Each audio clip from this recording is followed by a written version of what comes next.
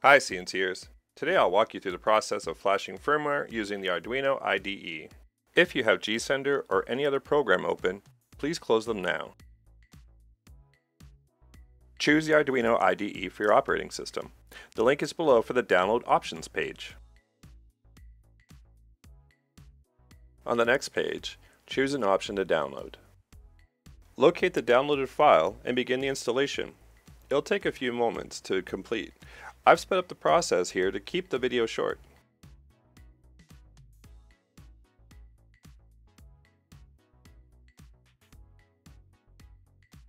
We'll now download the firmware we'll use in a couple of minutes. Follow the link below to our grbl firmware page, scroll down and click the link shown to download the file. Once downloaded, click the zip file to open it, extract the files to your desktop.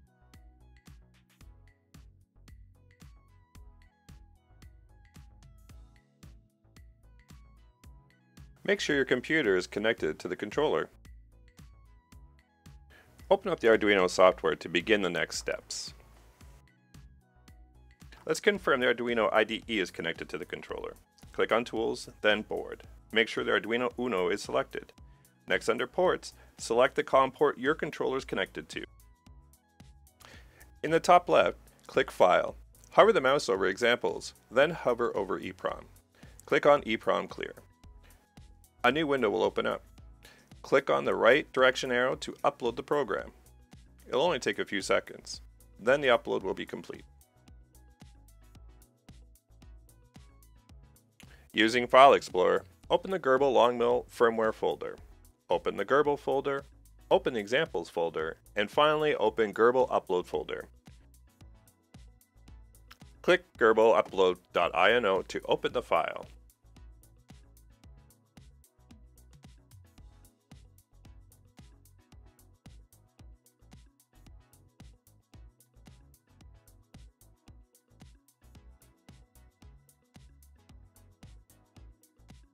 When the file is opened, click on Sketch. Hover the mouse over Include Library, then click Add Zipped Library.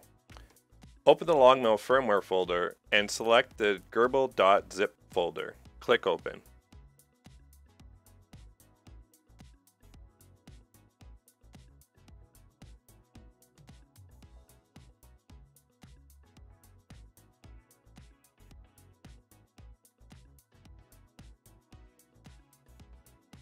Click the right-facing arrow to upload the file to the controller.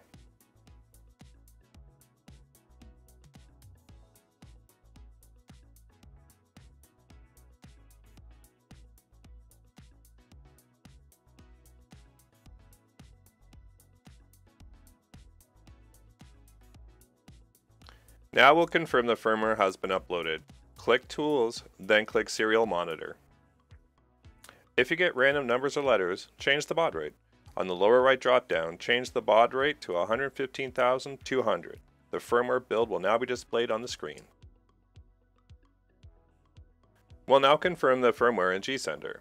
You must close all open windows of the Arduino IDE. You will not be able to connect to GSender if the Arduino software is still open. Open GSender and connect to your machine.